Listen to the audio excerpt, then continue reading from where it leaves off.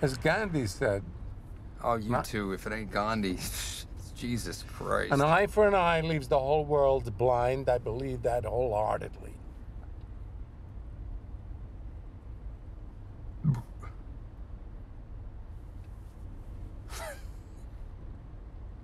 No, it doesn't. There'll be one guy left with one eye.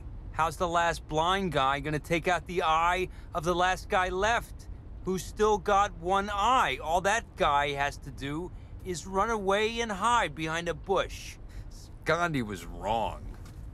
Just that nobody's got the balls to come right out and say it.